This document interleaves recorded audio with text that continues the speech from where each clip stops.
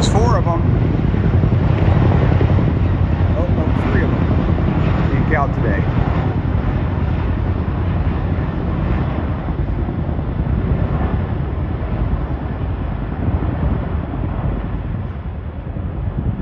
That's cool.